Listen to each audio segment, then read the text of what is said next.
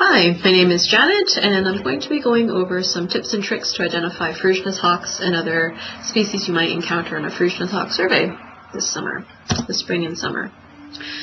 Uh, so first of all, I'd like to recommend a couple of field guides if you don't already have them. The Sibley's guide is really great, has some really important, really good uh, illustrations and range maps included in it.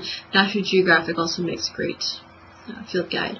Uh, in the last few years, I've also used uh, some different apps from, on my phone as well too. I like Audubon Birds because it's free and it's comprehensive, and Merlin Bird ID is, is also kind of fun to play with because it'll actually walk you through a set of filters and then give you a recommendation of what your bird species might be. So it can be really helpful for IDing uh, birds you're not familiar with. Uh, the Sibley e-guide is also very comprehensive and can be installed on your phone uh, and comes at a price.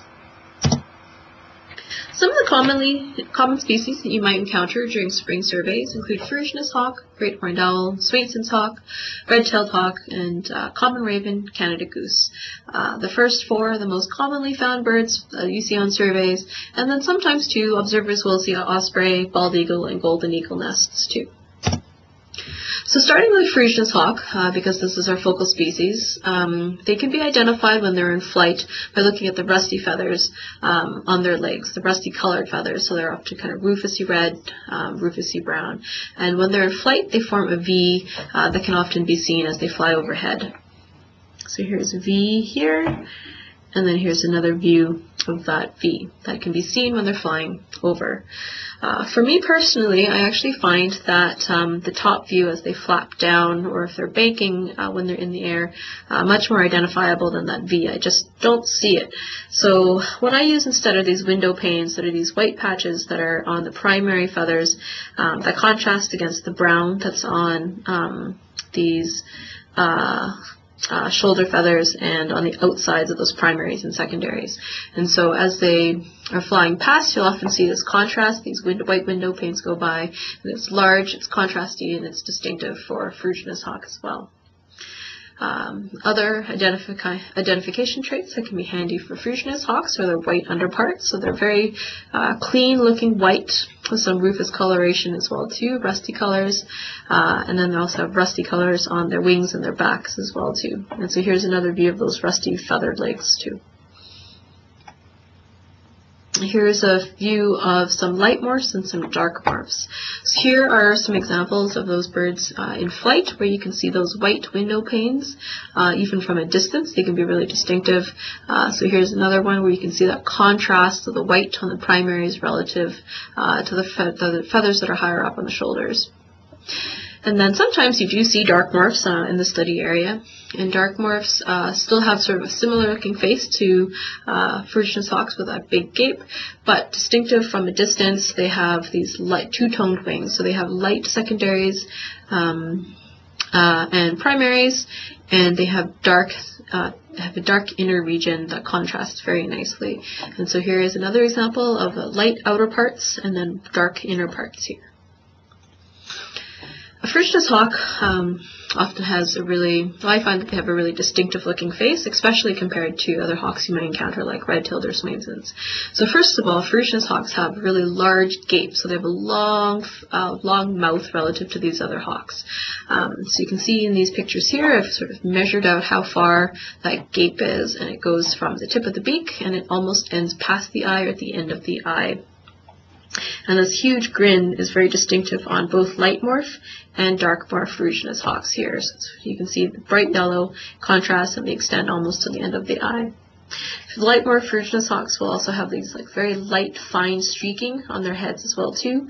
They have a very bright yellow cere, so that's this patch, fleshy patch that's above their beak and above their nostrils, uh, and it's very um, noticeable from a distance because it's so large and it's so brightly colored. Uh, hawks also have a white chin that turns into a white chest, so it's a nice smooth transition between, and that's going to be important when we compare their faces to Swainson's hawks and red-tailed hawks. So you can see these grin, that gape length goes quite a ways back to the ends of their eyes. So when we do compare them to a Swainson's and a red-tailed hawk, um, then you can see that Ferruginous hawks have a really large beak relative to these other two hawk species. So they have long beak, and it also goes to um, the far goes the farthest back on their heads as well too. So the Swainson's has the shortest beak, uh, because they often eat, they're more adapted to eat insects. So they have a short hooked beak that ends almost at the start of their eye. And then you compare that to a red-tailed hawk that has sort of a medium-sized beak that goes a little bit um, past the start of the eye, but not quite as far back as what would what you would see on a Ferruginous hawk. Ferruginous hawks, um, if it's a well-established nest that's a couple of years old, can be pretty distinctive looking as well too. Uh, first of all, they're composed of sticks that are usually larger, chunkier, just bigger, bigger sticks in general. Um, and if it's a couple of years old, these sticks, um, these nests have been built upon years and years, and so they kind of have a flat-looking top with really rectangular, straight-looking sides as well too. So less oval and more rectangular, and very, they can be very, very large. When we contrast Ferruginous hawks with Swainson's hawks, the first thing that we should notice is that these birds, the species, arrives a little bit later than Ferruginous hawks. These guys are uh, migrating back from Argentina compared to Ferruginous hawks that are just coming from southern states in northern Mexico. Uh, we expect to usually see Swainson's hawks in late April to early May. So in flight, Swainson's hawks are thankfully very distinctive. So they also have two-toned wings, but opposite of what you would see in a dark more Ferruginous hawk. Uh, so on a Swainson's, um, they have kind of a cookie coloration, Oreo cookie coloration I like to refer to it as. It's two-toned where the inner feathers are light and their outer feathers are dark. And it can be seen, um, this contrast can be seen from even quite a distance. Swainson's hawks also have uh, this chestnut bib that has a pretty strong line that cuts between it, and um, it's very distinctive uh, in flight or when they're perched as well too. One of the finer differences between Swainson's hawks and Ferruginous hawks are these stouter wings that Swainson's have compared to longer, uh, longer, kind of um, more extended wings on a Ferruginous hawk. One of the things I also find useful for Swainson's hawks, especially if it's in the distance or if the lighting is tough, is that they have a patch of white forward of the tail, in front of the tail, on the back, uh, that's not um, not too different from uh, what you would see on Northern Harrier. If you've seen a Northern Harrier fly by, on the top view they have a very large square of white um, that's very contrasted uh, against the rest of the body, and it's just forward of the tail and at the lower back. Uh, Swainson's has something similar, except it's not quite as large and square looking. It's more of a small, thin white crescent, but it's distinctive on Swainson's hawks and uh, can be useful if they're flying away from you. You'll often see Swainson's perched as well too, and often because we're looking at birds sitting in nests, we'll often see them perched uh, or just the top half of their bodies. And so, as I said before, Swainson's hawks have very short beaks relative to other, uh, relative to Ferruginous hawks and, and red-tailed hawks as well too, and it's because it reflects their insectivorous diet. Swainson's hawks also have a very distinctive white patch that's above their above their beak and they're above their cere as well too. This is important because you often only see from kind of like the forehead and up of a bird if they're sitting low in a nest, and that white patch that's above their cere can be really helpful. Swainson's also have a white chin that turns into a dark brown chest uh, chest bib on, on these birds as well too, which is important because Ferruginous hawks have a white chin, but that turns into a white chest as well too. They don't often have this dark bib. In comparison to Ferruginous hawks, their nests uh, are made of uh, much finer wispier, thinner, delicate-looking sticks, compared to a Ferruginous hawk nest that often is made out of made up of really big, robust, stout-looking sticks. Uh, so that can give you a little bit of a hint of what you're looking at as well too. Great horned owls are commonly found nesting in these big stick nests on the prairies, uh, and I find if you don't see their face, which is pretty distinctive, you often just see their backs um, or their side views. This light gray coloration that's very different from any of the other hawk species, from any of the other hawk species that we uh, find on survey. So they're often light gray that are patterned, so this variegated look to them, versus hawks like uh, red tails and Swainson's, Ferruginous hawks that would be a dark brown or rufous or patchy with light and brown compared to gray on an owl. Uh, often too, well, great horned owls will have uh, these feathered ear tufts, and they have facial discs that can be seen as well too, and bright yellow eyes um, that are forward facing. Um, these all these traits together tell you that these this is a great horned owl. Um, but here are some other views of what you might see for a great horned owl in a nest. Here's a really common view uh, where you can see these ear tufts and those facial discs. But just the overall coloration, the quality of the color is very different from what you would see compared to those other hawks. Red-tailed hawks are pretty common uh, out in parts of uh, the study area as well too. And as they're flying by, the bottom view has a couple of distinctive traits that you can use. Uh, one of the best traits that are that's really consistent across most red tails are these patagial um, dark leading edges on the wings, so these dark shoulder patches that are there. Um, and they're seen in different forms of red tails and can be quite distinctive as you see them fly by as well too. Uh, another trait that I like to use is the belly band that goes across the belly. Uh, here's a more distinctive one on this one, uh, and it's often visible um, when, uh, even though they're high up in the air. Uh, one of the tough things about red tails that live in Saskatchewan, though, is that their tail, uh, their tail isn't actually that bold of a red, and it can be often a really light colored red um, that barely looks red at all depending on the lighting. And so I tend to use traits like those leading edges, those um, dark patches there, or the belly band um, that help you ID a red-tailed hawk. In comparison to, to a Ferruginous hawk and Swainson's, their heads are different, um, where Ferruginous hawks would have a white chin to a white chest, and a Swainson's has the bib red-tailed hawks have just a dark hood that goes over their head, and again has a really um, contrasted line that cuts between their head and the rest of the chest. And so they've got this brown hood over them that can also be seen from a perch position and in flight as well too. We'll often see red tails perched uh, in trees, on power poles, and so forth.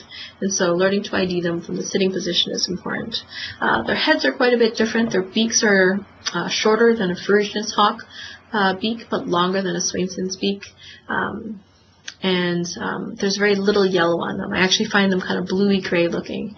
Uh, and they also have a very heavy looking eyebrow, and this is a great example of what a heavy eyebrow would look like on a, on a red-tailed hawk uh, compared to Swainson's and a Ferruginous hawk. Uh, when there's, if you have a front view of them, they'll have that belly band that goes across the front. Um, but a really common view is them turned away from you, and you often see their back. One of the distinctive things that I see on red tails is this rough-looking back V that's on their on their back, and so they're generally pretty dark brown, but they've got often these rough-looking white feathers that form a V as they're sitting.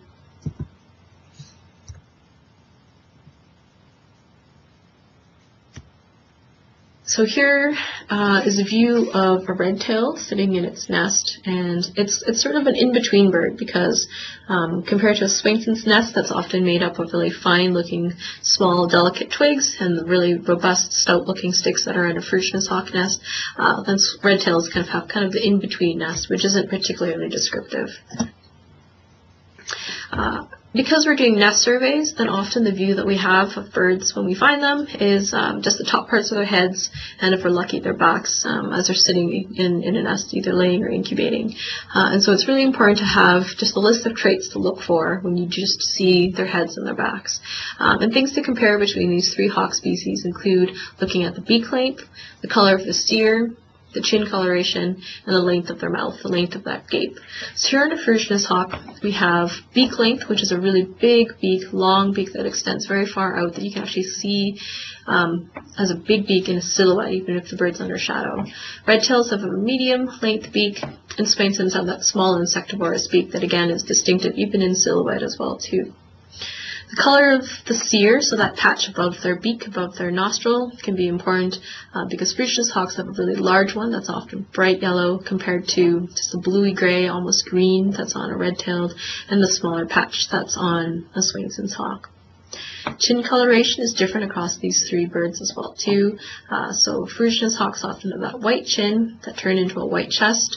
Uh, although it's tough to see on this one, red, red tails have that brown hood that goes over their head. And then I think what's most distinctive on is compared is, is their Swainson's hawk because they have that white patch above their cere and that distinctive white patch, chin patch, um, before it turns into that dark bib on the Swainson's. So here's a table to be able to compare some of these things across uh, the three species. And I've also noted things with the D um, for traits that are retained even when the birds are dark morphs as well too. So this might be a handy chart to take out to the field with you and just use as a checklist to, to uh, filter out what, what you might be looking at. You might also encounter Canada geese out on surveys because they do nest in big stick nests um, off the ground as well too. And um, sometimes it's not that as easy as you think it would be to identify a Canada goose up in a tree nest.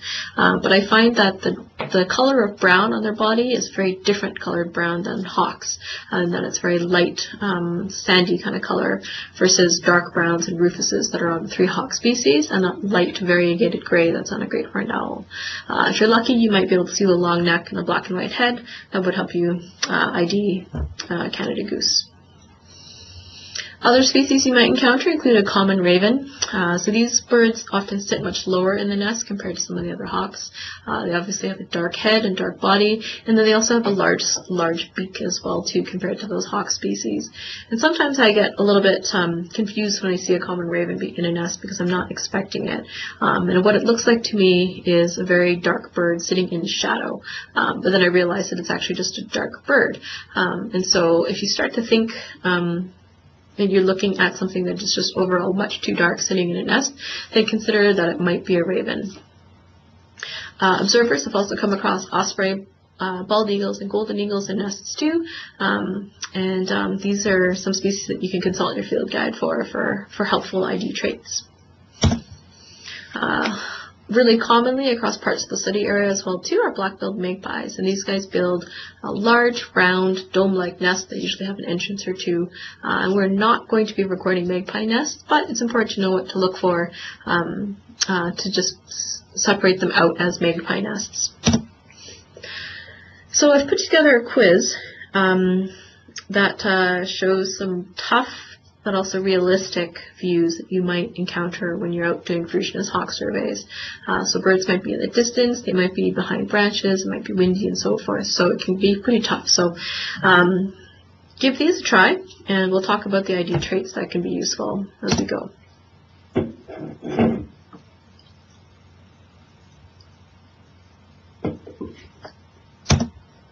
So this is a Swainson's hawk. Um, it's not the best view of it, but it's a realistic view of what you might encounter. So this is a Swainson's hawk because you can see that it has a yellow cere, but it also has a small beak too, relative to a large beak on a Ferruginous hawk and a really large cere you would also see. Uh, this bird also has a little bit of white that's above that cere and a bit of white chin as well too that turns into a dark chest bib, uh, which um, Ferruginous socks would have a white chin that would turn into a white chest, and they wouldn't have this white patch above their cere either.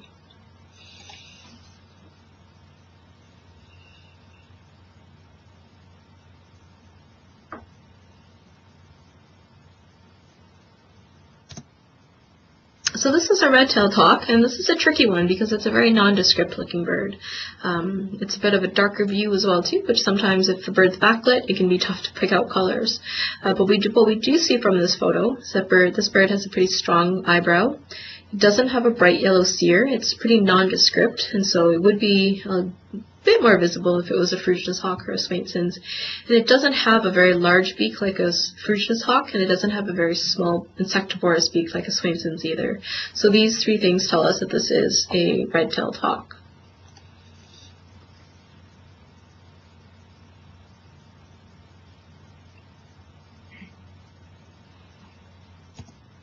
This is a Ferruginous hawk, and it uh, has a bright yellow cere that you can see from quite the distance. It has a lot of rust color on its wings. And it also has a really large beak, especially compared to Swainson's and, or, and compared to Swainson's and red-tailed hawks. It has a large, long gape that goes past at least the midpoint in its eye, almost towards the end. And this bird also has a white chin that's turning into a white chest as well too. It also has very light, fine streaks on its head. And combined, all of these traits tell us that this is a Ferruginous hawk.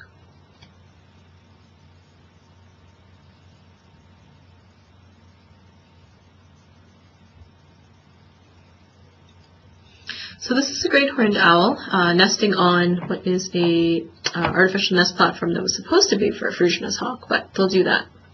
Uh, so here in this view, we can see those feathered ear tufts. We can see a little bit of those facial discs um, on its face as well too.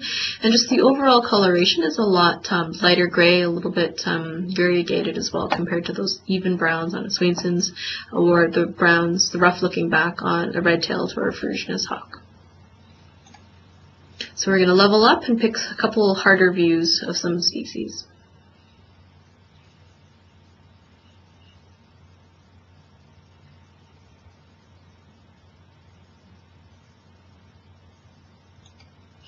So this is a ferruginous hawk as well. So while we can only see its head and a little bit of its back, we've got enough here to tell us the story. So we can see, uh, even from a distance, that this bird has a bright yellow cere um, that's quite large, and it has a really large gape that goes all the way back to the end of its uh, end of its eye. Uh, it has also a large beak relative to the small insectivorous beak on the Swainson's, and that medium-sized beak on a red-tailed. Um, and it has a little bit of streaking that you can make out on its head as well too. But for me, I often see this big grin and this big yellow cere on its nose to tell me that this is uh, a ferruginous hawk nesting on a nest platform.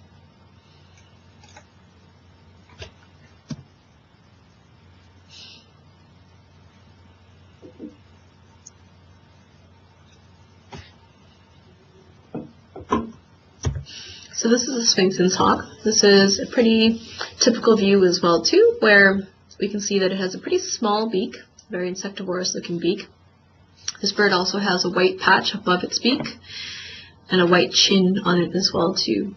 And from this view, even if we don't have a very good view of its face, we can see that the back is pretty evenly dark brown, uh, which is pretty distinctive of a Swainson's hawk relative to the other hawk species and to the other uh, raptors we might come across like owls.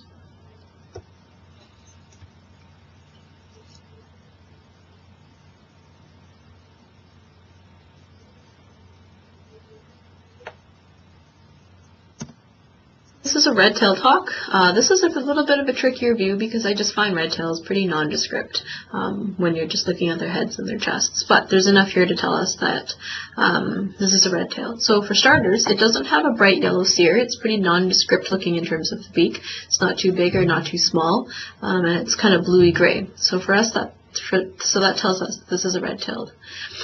Um, we also have a pretty good view of the whole head here, and so we see that it doesn't have any uh, chin patches or patches above its beak, and it has a dark chin that doesn't turn into a white. It has a dark chin as well, so it has quite something that looks quite like a hood on its head. Uh, so this is a red-tailed hawk. So we're going to pick some even harder photos, um, but again, these are pretty realistic of what you might encounter in the field.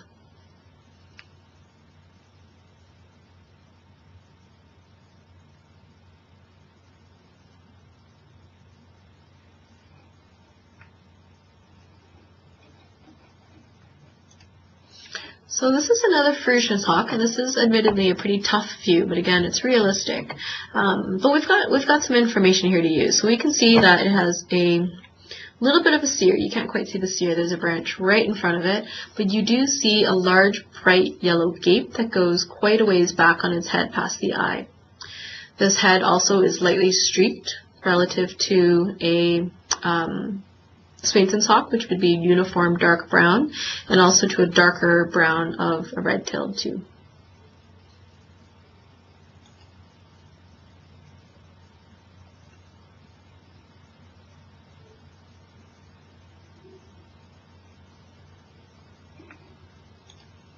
This is again another tough view. So this is a Ferruginous hawk that's nesting, that's built a nest in a nest basket. Um, but even though it's quite hidden and behind some branches, uh, you can see a bit of that bright yellow cere that it's above its beak. And you can see that this bird has a white chin that, tran um, that transitions into a white chest as well. So if it was a Swainson's, it would have a bib, it would have um, a white patch and a white chin, and if it was a red-tailed hawk, it would have a dark hood with a white with a light chest. But it has that chin and chest that's both white.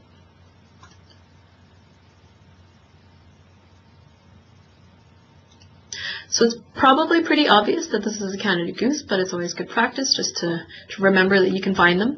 Uh, so here's a good photo though to show that different quality of brown compared to some of those other hawk species that we encounter.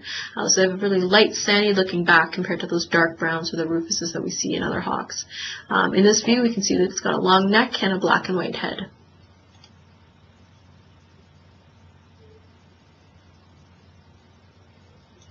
So this is an osprey, and um, while sometimes we just see their heads as they pop up from their nest, that's usually good enough if we have a good view of it, uh, because osprey have that dark stripe that goes through their eye.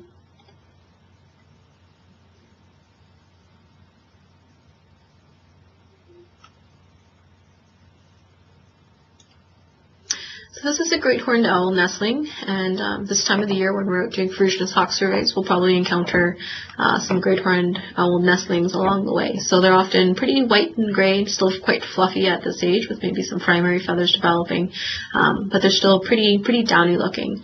Um, and they have sometimes ear tufts. They sometimes see a little bit of the facial discs that go around it as well too, uh, and that those forward-looking eyes that are quite yellow. Um, but um, it would be mindful because to keep these in mind because often the adults aren't on the nest and they just might be nearby.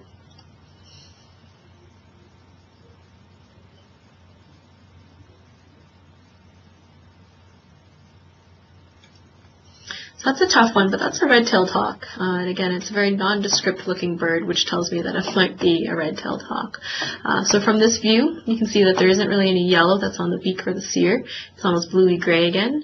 Uh, so it's not yellow. Um, which tells us it's a red-tailed. From this view as well too, you can also see this bird has a pretty strong eyebrow on it uh, relative to uh, Swainson's and Ferruginous hawk. It's got a very strong eyebrow. And it doesn't have a white chin, it doesn't have a white spot above its nose, so it's not a Swainson's hawk, um, nor a Ferruginous hawk.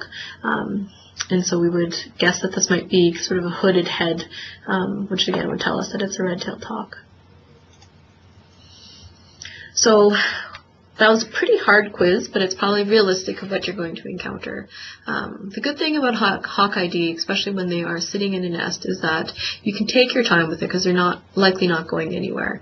Um, and again, as I've said before, sometimes Hawk ID can take 30 seconds, but it can also take 20 minutes or even longer as well too. Because sometimes you just have to wait the hawk out and uh, wait for its head to come up to look around, or maybe even look around for other birds that might be in the area. Um, it's if, if it's pair, if it's mated pair, mated adult is nearby, um, or comes comes closer. Um, Hawk ID definitely gets um, easier with more practice, and so as you do more and more surveys and you see more and more stick nests with birds, I'm sure that your identification skills are going to improve uh, as the hours and the days go by. Um, and it can actually be really fun because it can be really challenging as well too. Um, but certainly it can be frustrating and that's very, very normal. But I would expect that um, everybody's going to improve and hopefully have a good time out there and get a lot of practice because they're going to find hopefully a lot of hawk nests. Uh, so thanks very much and I hope everybody has fun. I hope everybody finds a lot of hawk nests. Thanks very much.